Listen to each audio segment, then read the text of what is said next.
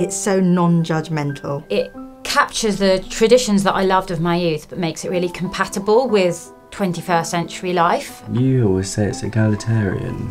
I always say. Is that it? Yeah, Is that the right word? yeah, it can be. There's a role for the whole family. the energy and enthusiasm and the commitment that I see every time I go to a Masorti function, and it's lovely.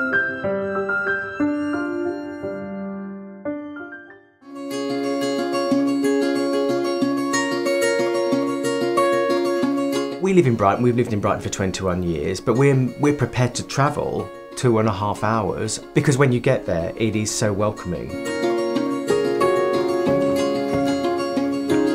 So basically, Jason asked me to marry him. We were looking for the right fit for us, and my brother introduced us to Adam. He's a really, he's a really interesting, charismatic character. The wedding was a fan- for us was a fantastic advert for Masorti. It doesn't get better than that. As a Jewish parent, seeing your daughter under the chuppah um, with the man that she loves, and with your son doing the ceremony with this really inspirational rabbi. Come on, guys, it doesn't get any better than that. It's lovely. I grew up feeling a little bit stupid for not knowing things, and now I don't feel stupid.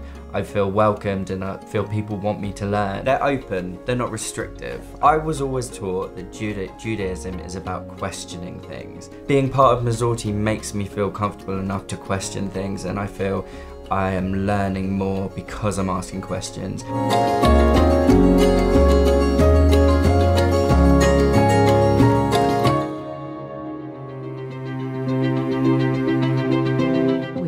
Daughters, and uh, increasingly they didn't really feel they had a, a role to play. So they began to search and uh, found this wonderful small community in uh, New Stoke Newington. My mother, especially, was really losing her love for Judaism, and I think Masorti helped her to again reconnect with it in her own way. I was expecting something different, and in fact, I could uh, get myself involved very, very easily and comfortably without feeling I was going anywhere very, very different. I think something that's really quite unique about the Masorti community and our community in particular is its authentic focus on social action work. On the first night of Hanukkah, we did this great uh, Hanukkah lighting event in Hackney, linking the lights of Hanukkah, the Festival of Lights, and turning on the Christmas lights.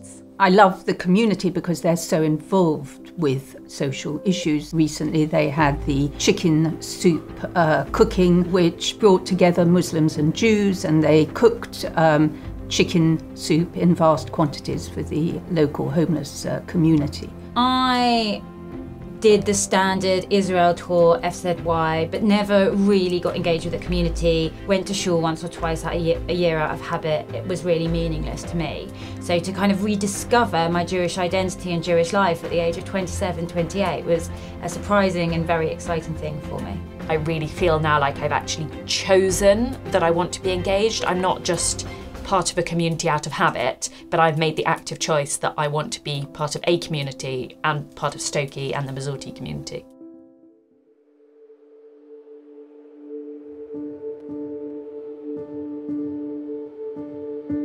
We joined New London about five years ago when we were looking for a community where our daughters would be able to fully participate in the bat mitzvah process. It was important to me that I could do everything that a boy could. It's wonderful going up to the Torah, reading from the Torah, holding the Torah with all my family around me. There's just something magical about being up there surrounded by generations. They're probably the most proudest moments of our lives, seeing our girls on the bima, participating in a rite that's been practiced by our families and communities for generations and generations. Since my bat mitzvah, I learned a couple new things. I've learned Rosh Chodesh, but I've also started teaching at Cheder. I love being able to pass Judaism on to the next generation. I think that's really what it's all about and why it survives so long is that we're really passionate about passing it on. I remember from my bat mitzvah when I went up on the bimah for the first time and I started singing and I could like hear my voice going around the synagogue um, and all of the chitter and chatter that was going on just got quiet. Then I turned around after singing the first verse and everyone was looking at me and it was really great to see everyone's smiling faces. When I watched Chelsea Laning and Eliza having an aliyah, to see both girls up there as adults in the Jewish community with the Torah, uh, I just feel, I mean, it's just like kvelling and nachas. I mean, both of those words to be together as a family.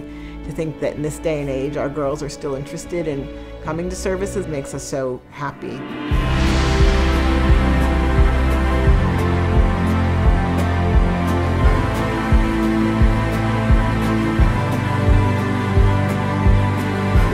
With Masorti, there's like a genuine interest in you and who you are. I found my community in Masorti. It's bizarre how far we've come through finding Masorti. I kind of wish I'd found it earlier. I wish I'd had the youth group experience with Masorti. I think that would have been amazing. It's given me an extra dimension to my Judaism, my day to day Judaism, that we are together as a family. And I can't believe I'm saying this, but it's actually really fun. They actively choose to get up early on a Saturday morning and go to shul. I know. And if someone had said that to me 10 years ago, I would have laughed at them.